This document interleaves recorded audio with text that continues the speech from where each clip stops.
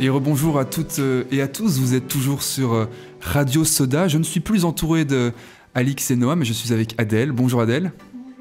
Alors dans la première partie de ce podcast, on a eu la chance d'écouter un texte sur Stephen King. Et dans cette deuxième partie, c'est sur qui dont on va écouter un texte?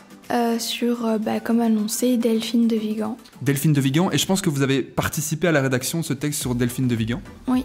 Alors dites-nous tout. Est-ce que ça a été un exercice facile, laborieux?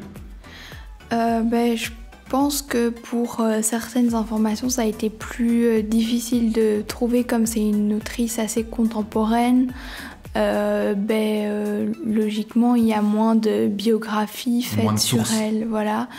Mais on a quand même su euh, trouver pas mal d'informations dans des interviews qu'elle a faites et donc ça, ça c'était pas trop compliqué. Pas trop compliqué. Et vous qui avez, on peut le dire, déjà enregistré le texte, le fait comme ça de, de le mettre en voix, ça a été comme exercice pour vous?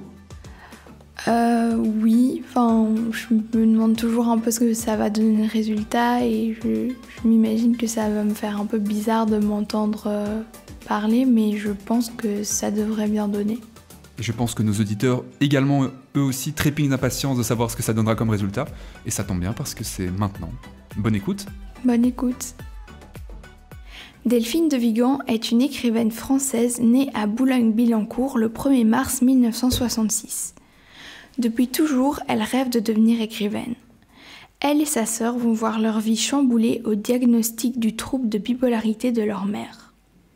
Quelque temps après ce traumatisme, Delphine de Vigan va souffrir d'une période d'anorexie pour laquelle elle sera hospitalisée six mois. Elle va faire une formation au CELSA, à savoir le Centre d'études littéraires et scientifiques appliquées, et deviendra directrice d'études dans un institut de sondage. Avec son premier compagnon, elle aura deux enfants.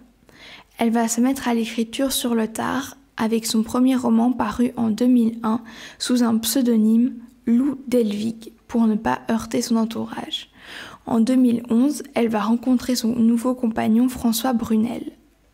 Après son premier roman, elle va publier des vidéos YouTube dédiées à ses deux enfants, Samy et Kimi. Grâce à celle-ci, Delphine obtiendra une grande notoriété sur les réseaux. Elle deviendra une sorte d'influenceuse pour beaucoup de gens.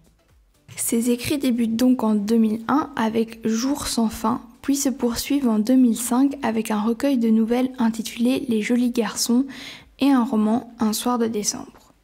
Elle écrira No et moi en 2007, son plus grand succès qui lui permettra de vivre de sa plume et qui sera adapté au cinéma en 2010. Elle continuera d'écrire des romans jusqu'en 2014 où elle va réaliser un film à coup sûr et un autre film sortira en 2017 adapté de son roman D'après une histoire vraie paru en 2015. Elle continuera d'écrire jusqu'à son dernier roman en date publié en 2021 Les enfants sont rois. La particularité de ses écrits est qu'ils se basent souvent sur son vécu, comme une sorte d'autobiographie. Elle parle de ses expériences tout en restant dans le fictif. Voici quelques exemples. Jour sans fin relate l'histoire d'une jeune femme souffrant d'anorexie, où, sans qu'elle ne le dise, on peut deviner qu'elle parle d'elle-même. Un autre exemple, le livre Rien ne s'oppose à la nuit, dans lequel elle parle de sa mère, se battant contre son trouble bipolaire.